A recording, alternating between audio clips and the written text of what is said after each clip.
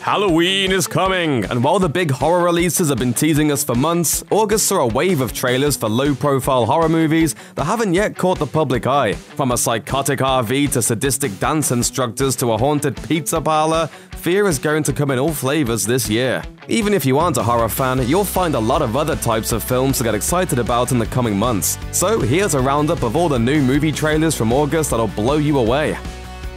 The Toybox Combining the isolated desert setting of the Hills Have Eyes with the innate horror of a family road trip, The Toybox is a movie that asks the all-important question, what if your RV was evil?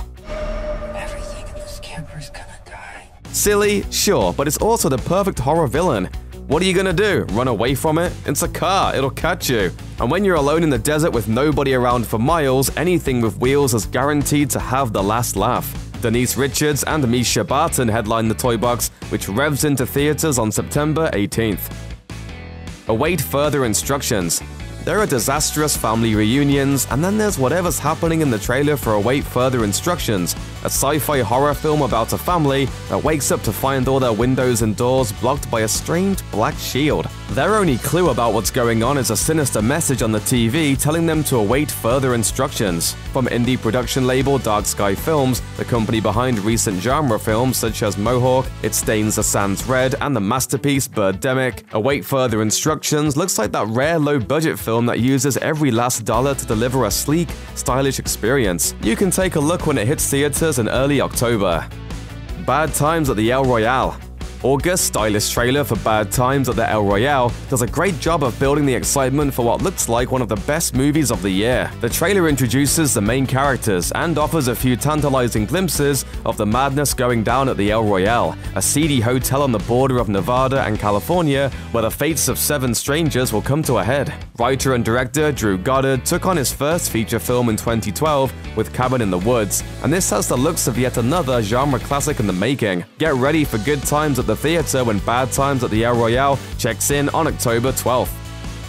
First Man There's a lot of talent pouring into Universal's upcoming historical drama First Man. Written by Josh Singer of Spotlight, directed by Damien Chazelle of La La Land, and produced by Steven Spielberg. First Man tells a riveting story of Apollo 11, the mission which saw Neil Armstrong become the first man to set foot on the lunar surface. Ryan Gosling steps into the space boots as Armstrong, leading an amazing cast that includes Claire Foy and Corey Stoll. The film will focus on the years leading up to the historic moon landing and how the mounting pressure took a toll on Armstrong's family life. Check it out when First Man lands in theaters on October 12th. Air Strike You'll get at least one chance to take a break from the all horror in late October with Air Strike, a World War II action thriller starring Adrien Brody and Bruce Willis. Based on the true story of the Japanese bombing of a Chinese town in 1941, Air Strike isn't afraid to take that momentous historical tragedy and turn it into a CGI action fest. Sir, please allow us to go kick some ass. So yeah, Air Strike doesn't look like it's on track to win any awards, but there are probably enough explosions here to make for a fun time at the movies. Look for it in theaters on October 26th.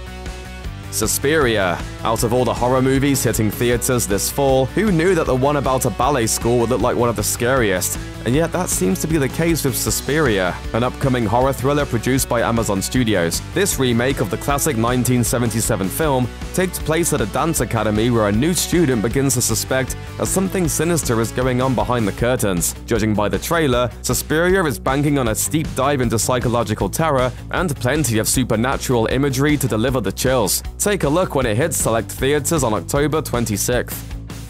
A Private War Based on a true story, A Private War chronicles the life of foreign correspondent Marie Colvin, who spent most of her career covering armed conflicts around the world, one of which ultimately took her life. Rosamund Pike stars as Colvin with Jamie Dornan and Stanley Tucci co-starring. Expect plenty of hard-hitting drama when A Private War hits theaters in limited release on November 2nd, followed by a widespread release on November 16th. Outlaw King most people probably know Robert the Bruce as the guy in the chainmail hoodie who portrayed William Wallace in Braveheart. But there's a lot more to this Scottish hero than handsome goatees and internal conflict. Netflix's upcoming Outlaw King follows Robert on his bloody path from enemy of the crown to king of Scots and his war against England for Scottish independence. Chris Pine stars as Robert the Bruce, and by the looks of the trailer, Outlaw King will favor historical accuracy over fictionalized drama. Outlaw King will enjoy a limited theatrical release on November 9th before streaming on Netflix.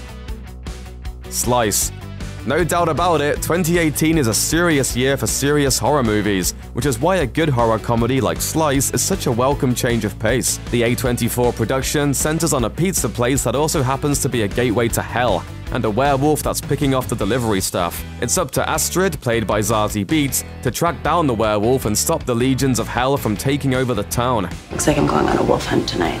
Slice is set to be released in fall 2018. Heretiks Nuns are the perfect vehicle for horror. With their suspicious black and white habits and their easy access to creepy church basements, Nuns and Terror are the cinematic peanut butter and jelly. You don't even have to try, and you still get a good sandwich. And Heretiks is delivering the goods with a nun-based creep fest straight out of your nightmares. This movie has nuns in all the shadows and shadows in every corner. Is it a little convenient that Heretiks is coming out right alongside Warner Brothers' high-profile chapel chiller The Nun? Probably, but it still looks like it'll hit all the right notes for a fun, late-night horror flick. Heretiks still doesn't have a specific release date, so fingers crossed it doesn't sneak up on us.